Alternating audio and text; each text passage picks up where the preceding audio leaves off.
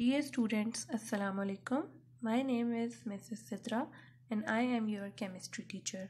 In class 8th, we will complete first four chapters of the chemistry textbook and the first chapter that we are going to start today is the fundamentals of chemistry. It is a very important chapter which includes branches of chemistry, history, many important definitions and many chemical calculations. You need to study this chapter clearly and thoroughly so that then you will be able to solve many important numericals in the next chapter. So let's start the chapter. First of all we will study about the history of chemistry. Ancient greek philosophers used to think that all the materials of the universe are made up of four elements that are earth air water and fire. They were not aware about the basic unit of matter and they used to think that all the materials are made up of only these four elements. At the start of 19th century, John Dalton, who was an English chemist, proposed a theory in which he said that all the elements are made up of tiny indivisible particles called atoms. According, according to him, atom was not able to divide further there was not the concept of subatomic particles at that time. Second postulate of his theory was that the atoms of a particular element are similar to each other. They were same in mass, same in size, and they were of same type, means they were identical to each other. This showed that elements are the groups of the same type of atoms. Number three, during the chemical reactions, atoms combine or separate or rearrange themselves. So, the formation of the compounds occur when atoms of the same kind or of the different kinds combine or arrange to form new things. The last postulate was the atoms can neither be created nor destroyed. This means that we cannot make or we cannot break an atom. They are already present in the nature. Till that time, there was no concept of the subatomic particles, and so the, uh, Dalton used to think, Dalton thought that atom is indivisible.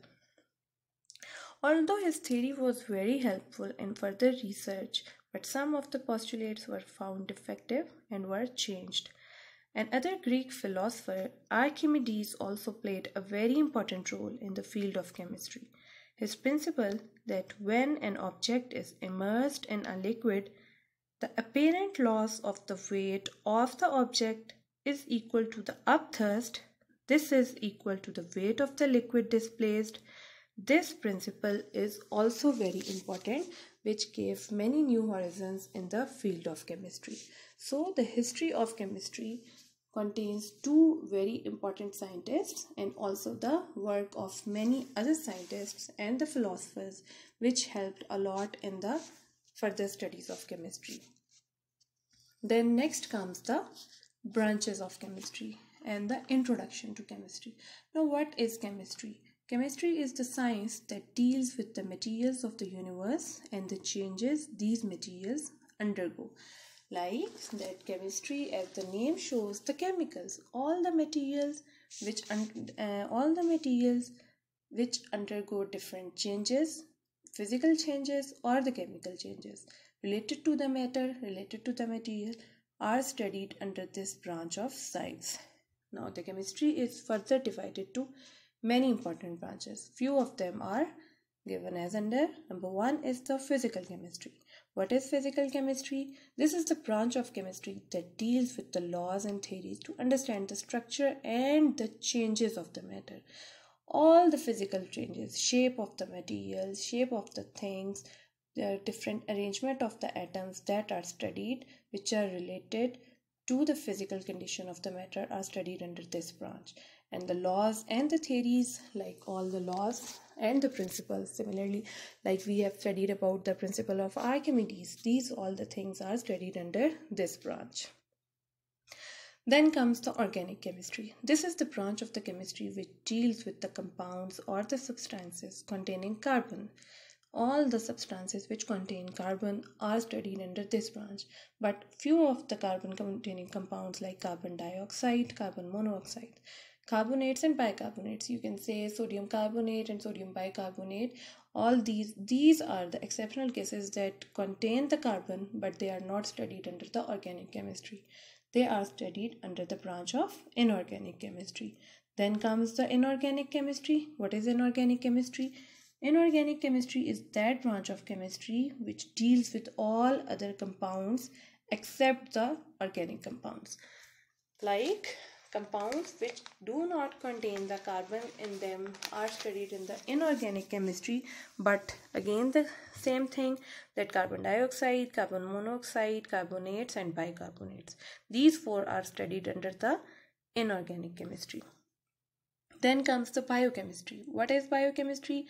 As the word biology says, it is related to the living organisms. All the chemical changes are that are related to the living organisms are studied under the branch of biochemistry. For example, the presence of bile in our stomach, the composition of bile, the composition of water, composition of blood, all the things where the chemicals are related all the changes that take place in the living organisms like if we talk about the plants what will they what will be the process of photosynthesis? Photosynthesis will be studied under the branch of biochemistry. So all the uh, changes chemical changes taking place in the living organisms are related to biochemistry. The next branch is the industrial chemistry Industrial chemistry is the branch of chemistry which deals with the methods and use of technology in large scale production. Like, let's study about the let let's talk about the uh, formation of medicines.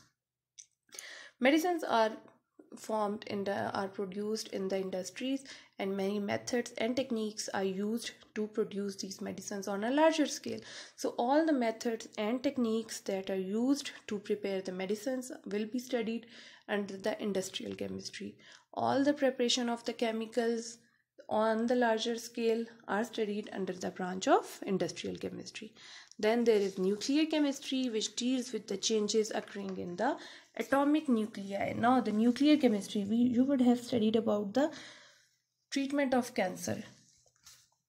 That is the oncology department.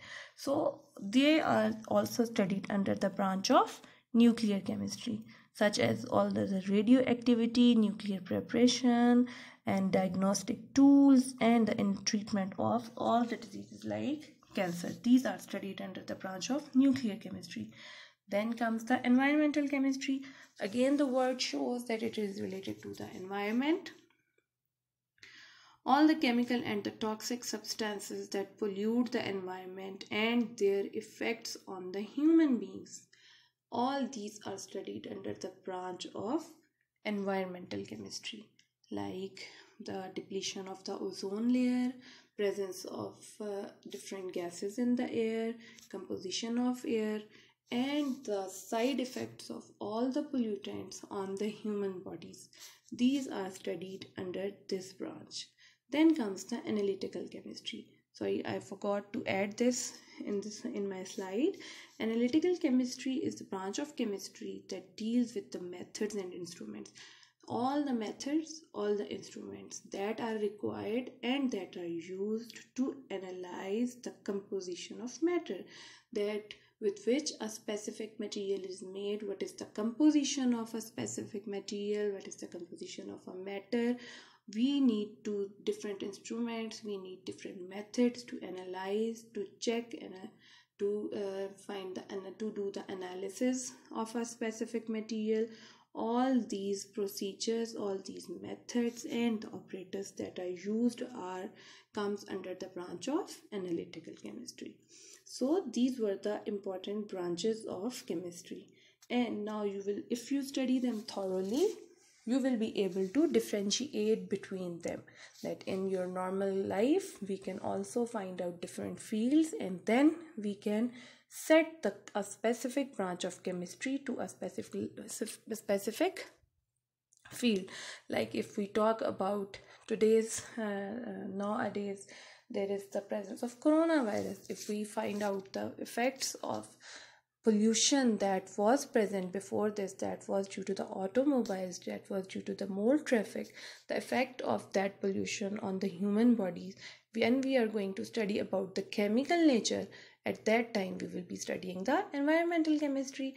Like and if we are studying about the process of photosynthesis in the plants at that time we will be discussing about the biochemistry. Similarly the other branches of chemistry also fits in our daily life okay now this topic is completed here and i would like to give you few tasks that you want you have to complete in the next week first of all you have to jot down the postulates of the Dalton's atomic theory. Dalton's atomic theory is very important.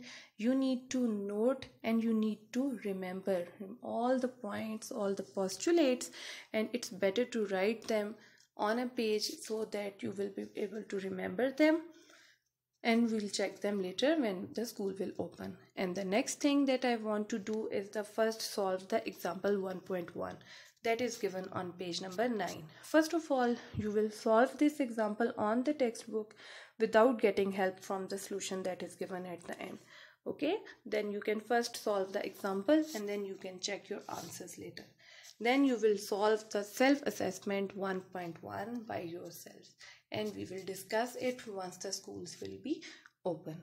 I hope all the things are clear to you. Thank you and take care.